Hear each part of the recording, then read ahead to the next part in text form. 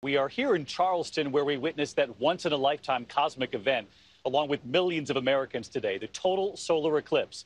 The first seen coast to coast across America in nearly a century. This NASA satellite image showing the shadow of the moon moving across the country.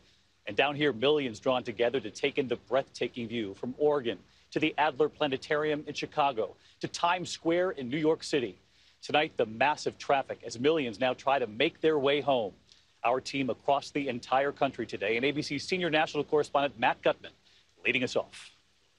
After so much anticipation, it arrived right on schedule.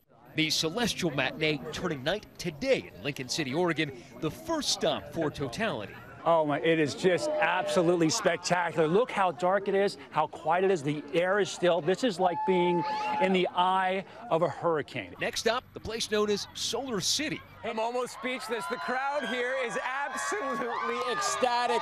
I'm going to have our cameraman, Glenn, turn down the lights. You actually get a sense of how. Turn it off, Glenn. Let's see how dark it really is.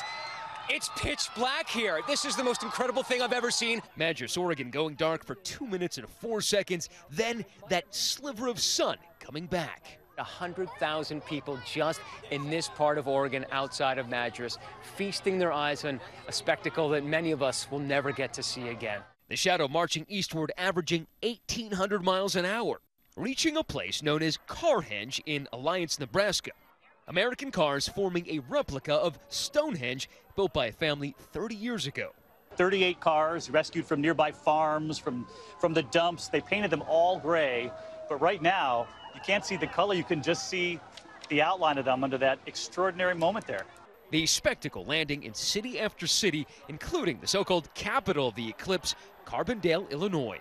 But Carbondale, which should have had 2 minutes and 41 seconds of darkness, was darkened by something else clouds. You guys have brought us into the drama. You've got 45 seconds there, and it all depends on the, on the weather system above you. Thousands who traveled there crestfallen. They're looking up because this might be the only and best shot of it they get. But then, with just seconds left, the clouds part. There it is. There it is. What an extraordinary gift right there in the last final few seconds. In Kelly, Kentucky, something else emerges in the sky. And we can see Venus at this point here in Kelly, Kentucky. I love the fact that you can see Venus. Even the president stepping out of the White House to watch. Finally, the last major stop for the Great American Eclipse, Charleston, South Carolina. The clouds cooperating. You know, it really puts us in our place as far as our role in the cosmos, doesn't it? The fact that oh, we here really, on Earth are part of something much really. bigger. And then sky gazers starting to make the long journey home.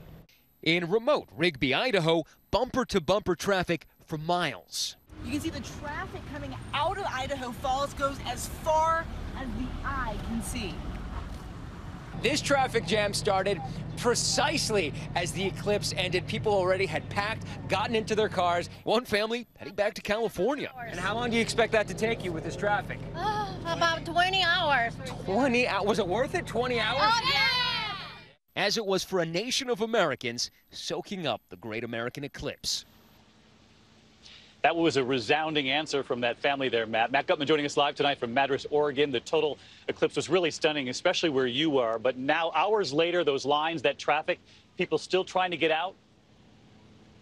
That's right, David. Early we saw the Great American Eclipse, but this afternoon we got to see the Great American Escape. And tonight, broad swaths of the Northwest in gridlock. In fact, it took people over three hours just to get out of the parking lot here in Solarfest. And I asked one motorist, was it worth it? She responded, it was totality worth it.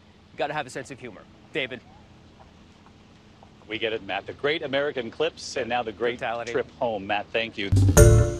Hi, everyone. George Stephanopoulos here. Thanks for checking out the ABC News YouTube channel. If you'd like to get more videos, show highlights, and watch live event coverage, click on the right over here to subscribe to our channel. And don't forget to download the ABC News app for breaking news alerts. Thanks for watching.